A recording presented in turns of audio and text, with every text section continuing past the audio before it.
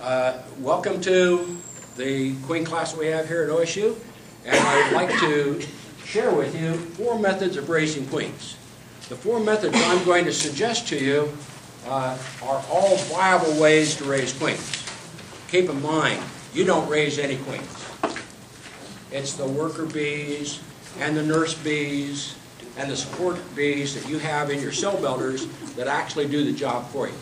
What you're going to do is just manage the operation so that you get queen cells produced. There is no one right or wrong way to do this. As long as you select a method and feel comfortable with that method, it should produce queens for you. And so what I'm going to do is literally discuss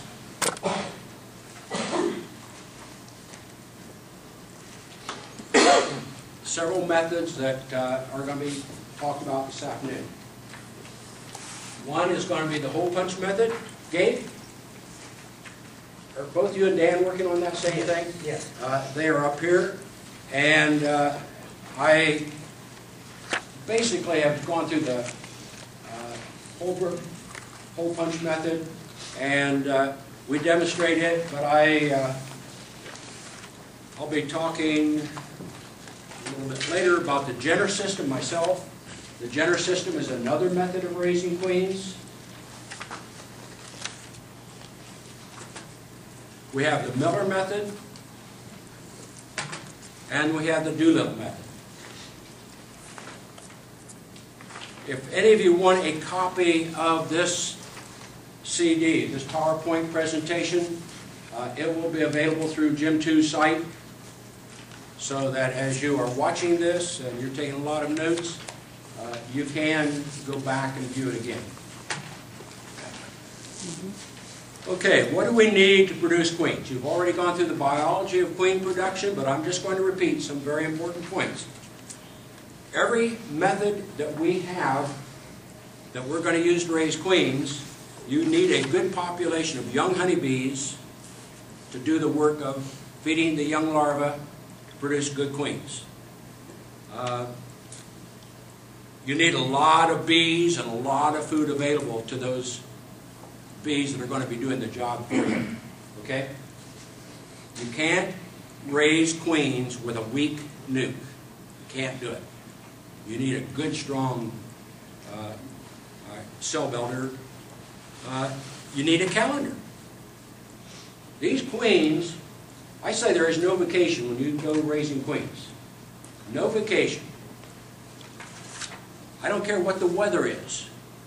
If a queen is going to emerge in 16 days from an egg and 12 days from the day that you graft a larva, there isn't anything that's going to change that schedule. You have to mark it. You can't put it up here in your memory. You've got to put it on a calendar. Mark it on a calendar.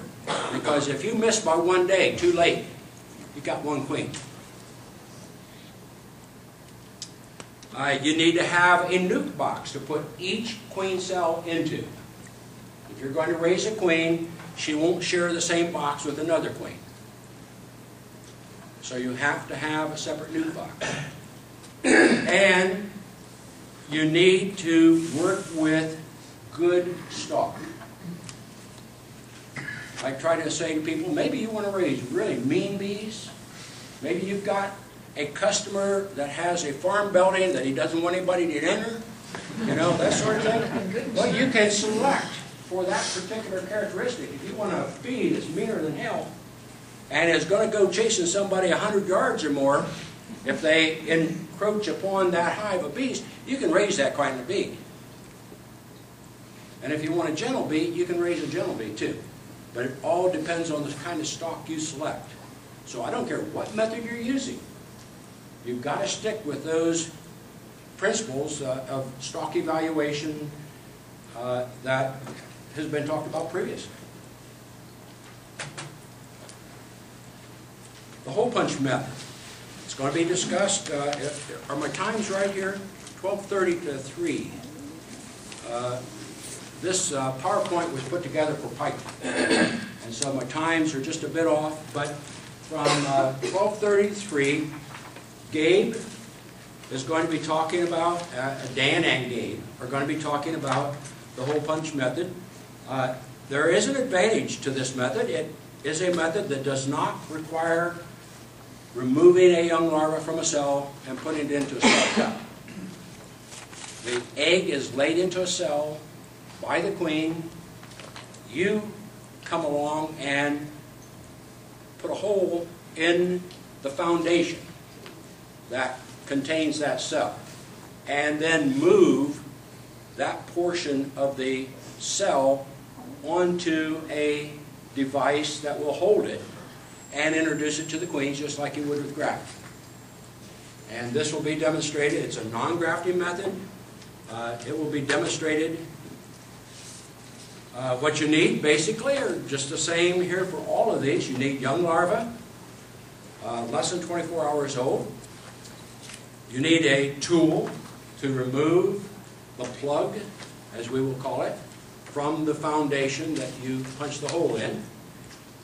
Uh, You need something to heat your tool to keep warm because a warm tool goes through wax a lot easier. Uh, You need something to heat. Uh, Sometimes you use water. What do you use, Gabe? To heat the tool, water. And- water. And then wax, you need hot wax. Okay. Uh, A frame with bars which will hold the plug base, and you go back to cell builder. We're always going to be talking about the cell builder because it's going to be essential in all these methods. There are a number of designs of hole punch methods. Uh, Will Montgomery in Alabama uh, has a tool that he sells specifically for making these hole punches. But you can make your own very easily. The internet's full of all kinds of information on the hole punch method. Essentially, you take a comb, just a little bit out of focus, but uh, do we have a pointer here? Uh, Essentially, what you're doing is you're making your comb look like Swiss cheese. Okay, when you get done with the frame that you've taken uh, these plugs out of, it's going to have a lot of holes in it. And uh, I, you, you can find out how Gabe handles that. Uh, you need a, a plug to put your cell on. This is the heater used to heat the water. And this gives you an idea of what uh, the comb is going to look like, the plug, uh, when it is fastened to the base.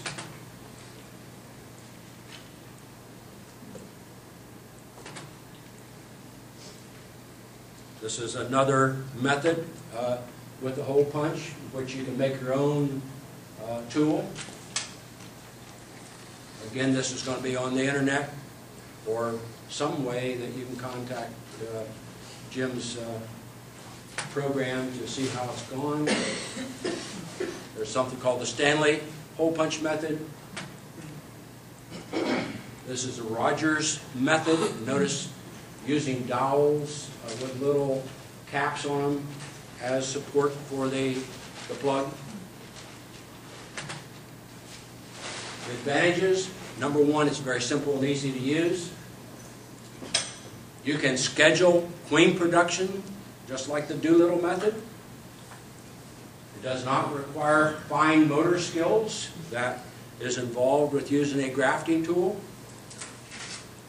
Tools are readily available and inexpensive. Disadvantage, you're always going to have to introduce a frame into your, whatever your queen mother hive is, get her to lay into that frame and have it ready so that you can remove the plugs at the right time. This is not something that's always easy to schedule. Jenter method. I'll be talking about this uh, later on this afternoon. This is a non-grafting method. How many of you in here are familiar with the Jenter system? Okay. What you need is a holding cage for the queen And this holding cage is a specially designed cage that has cell cups added to the back of it, which serve as the cell the queen will lay an egg in. You take your selected queen, put her into this cage. You place this cage uh, into a hive uh, where the queen has been established in the past. What happens if you put her into a hive that she's not been established in? The bees are not going to be reacting to her very well. So you keep her in her own hive. Uh, Spatial holders and equipment for the cell cups are required, and you also need a cell or hive. This is what the cage looks like. The cage uh, has two sides. One side has an excluder, which, uh, I just did something here. Uh, The cage has an excluder on the front of it that worker bees can go through to attend to the queen, for example, but the queen cannot get out of the cage. There are 110 holes for her to lay in, in this cage. And uh, then there is a cup, this is called a cell cup that goes onto the back side of the cage. This is what she places her egg in. This is what the back side of the cage looks like. Uh, There's 110 cups, and you would think that you'll get 110 queens that you can produce from the Jenter system. I'll talk in more detail about that later on. This is the front side of the cage without the queen excluder attachment. Also are the various tools that go along with this cage. There's like a queen protector. Uh, You have spatial uh, holders for the, uh, the device that holds the queen cell cup. All of these things uh, you need to purchase. They're not made easily by yourself. This is a picture of a cell bar that has the spatial uh, cups that will hold the, the cell cups that the egg is going to be in or the larva is going to be in. This is an example of the cage in place. This is a non-grafting method. It's good for the person who's not in a hurry and is not interested in raising a lot of queens. Disadvantages, it's somewhat expensive. I think a basic kit for 10 cells is right around $75. Uh, In order to raise more than 10 queens, you can buy cell cups, and you can buy more spatial frame attachment devices and so forth. Again, you can check almost any bee supply catalog and find uh, equipment that's uh, for sale.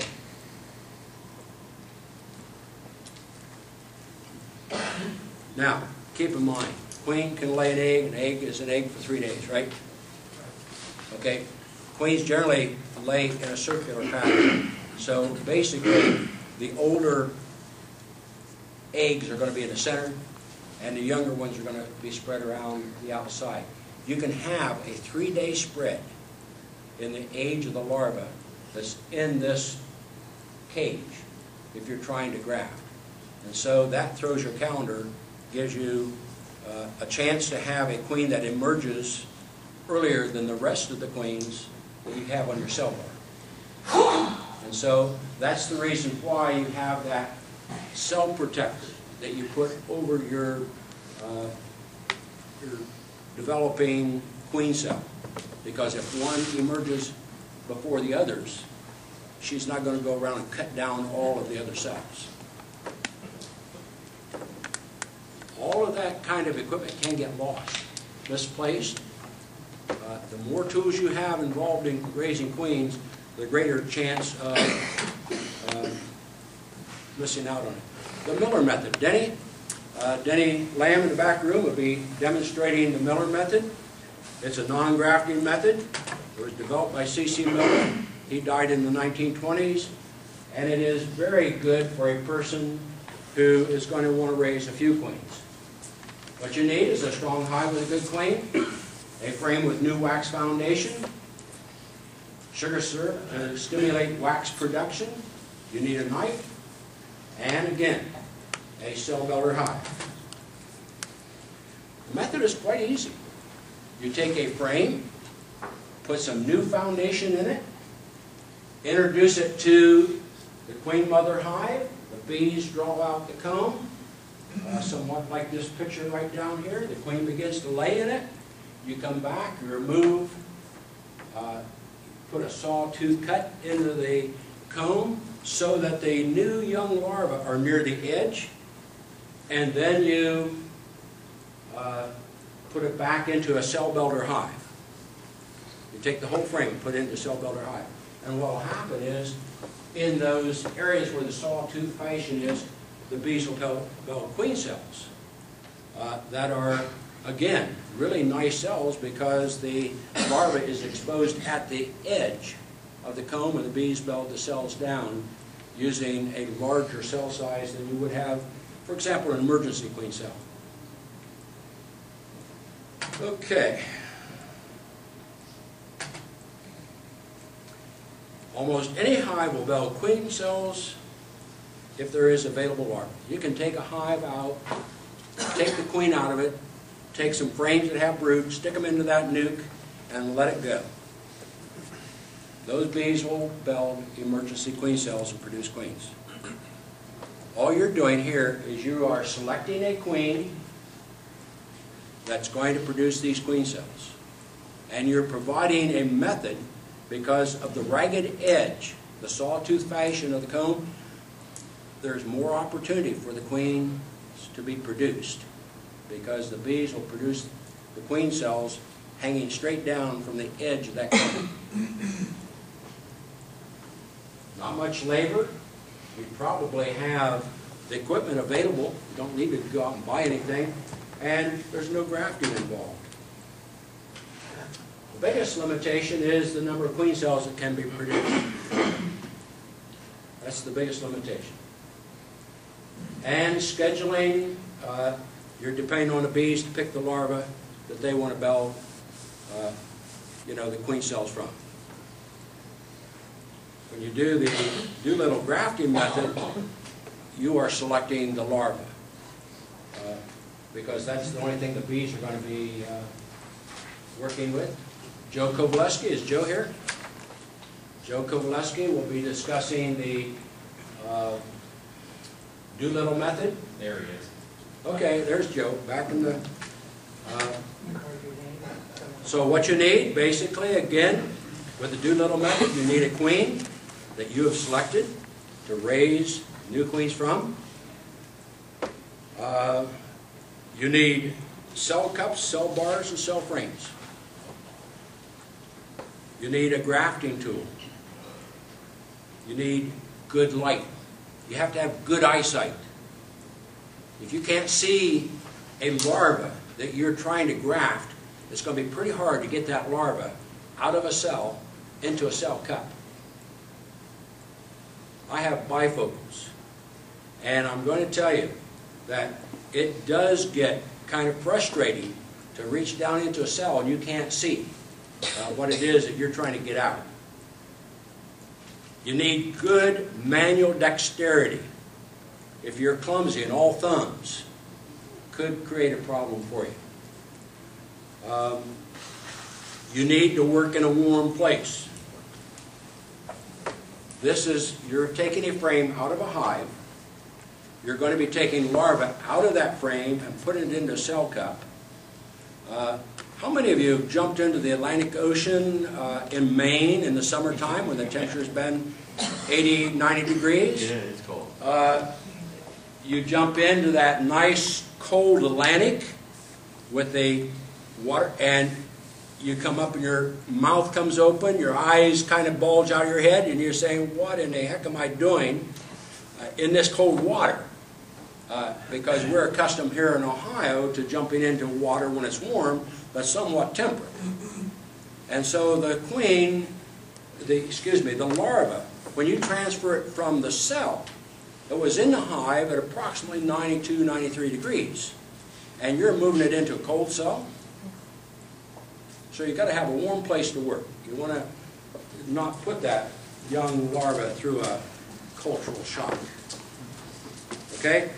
And also, the cell building hive is required. Okay?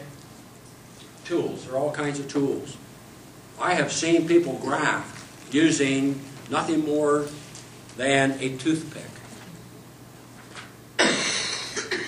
They'll take it, put it in their teeth, and kind of chew on the little end, get it kind of like a little hook on the end.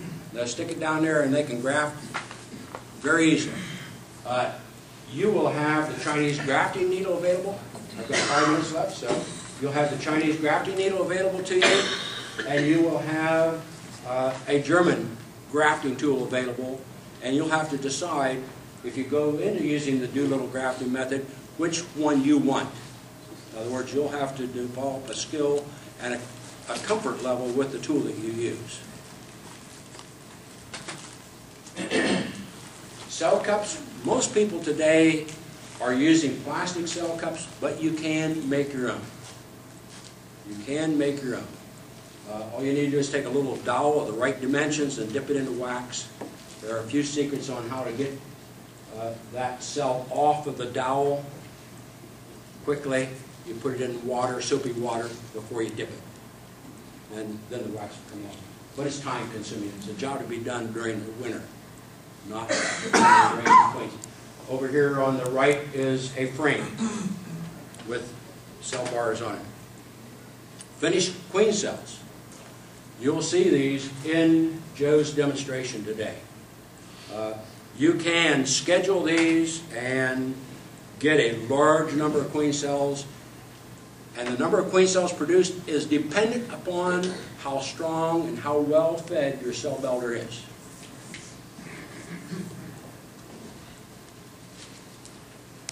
Almost all commercial queen operations use the Doolittle method. You can schedule the grafting, and you can harvest queens on schedule. Uh, you get good resulting queens. Disadvantage, most people become discouraged with grafting because you lack the manual dexterity or you have, uh, you damage the young larva when you remove it from the cell and transfer it into the cell cup.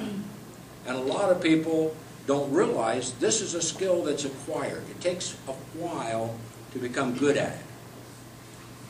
And if you give up right away, uh, you are probably saying, well, I don't like the Doolittle method, I'll use the Jenter method, I'll use the Miller method, I'll use the hole punch method because I get better results that way. You have to do what is best for you. You need to manage your cell builder and your nukes on a strict time schedule. If you're not good at managing time, you're going to have trouble with the Doolittle method. Uh, they told me that I had 30 minutes to talk, and it's not really that long enough to, to do a good job with describing the various methods. But when you are exposed to these people talking about the various methods this afternoon, what you can do is inquire of them what they think, because each person making a presentation can talk to you about what is good and what is uh, not good to them. And just keep in mind that as beekeepers, we have prejudices. When you hear somebody say, this is the way you do something, and then somebody else says, no, this is the way you do something, and then somebody else over here says, no, you do it this way. That is beekeeping. And you have to develop your own style. Not based on what Dana Stahlman says or anybody else says. If you try various methods, you will find that you're going to like one over the other. Okay? And so if I am giving a talk on the Jenter system, and I talk about the disadvantages more than the advantages, you need to realize that there may be somebody around that says, hey, Dana, you got it screwed around. Okay? And you later on could come back and say, well, Dana, uh, I listened to your talk, And I gotta tell you, I don't agree. That's all right. Okay? I thank you so very much.